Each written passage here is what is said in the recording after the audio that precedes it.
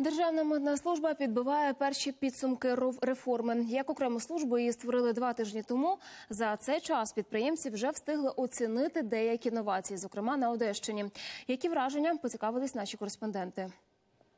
Раніше митниця була підрозділом фіскальної служби. Тепер це окремий орган Державна митна служба.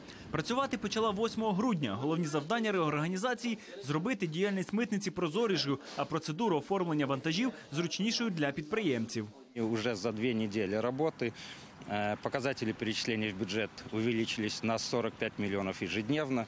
Количество контейнеров, которые стали оформляться здесь в режиме импорта, увеличились на 40%. Мы в постоянном диалоге с бизнесом и надеемся, что работа будет идти в позитивном русле. Це вантажний митний комплекс одеської компанії Євротермінал. В режимі нон-стоп тут відбувається оформлення вантажів у контейнерах та розмитнення автомобілів, що прибули з-за кордону. Реформу тут сприйняли позитивно. Мы ожидаем конструктивного диалога между Одесской таможней и представителями бизнеса, что позволит увеличить грузопоток в Одесский порт в частности и вообще в Украину в целом, А, что, соответственно, наполнит э, бюджет, а, привлечет дополнительные э, места рабочие, и мы будем развиваться в направлении импортно-экспортных операций. Оптимістично налаштовані і підприємці кажуть, скорочується кількість оглядів, поліпшуються онлайн-сервіси. Усе це прискорює оформлення документів.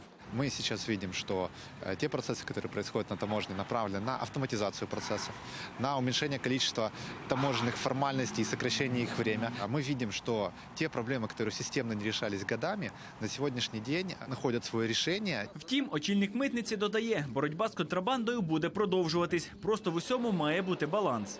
Нарушение таможенных правил при понятном взаимоотношении э, таможни и бизнеса, они должны уменьшаться, а поступления в бюджет увеличиваться. То есть это два основных показателя. Крім того, реформа митниці передбачає кадрове оновлення. Співробітники, які добре зарекомендували себе, залишатимуться на робочих місцях. А з тими працівниками, які засвітилися у корупційних скандалах, керівництво прощатиметься.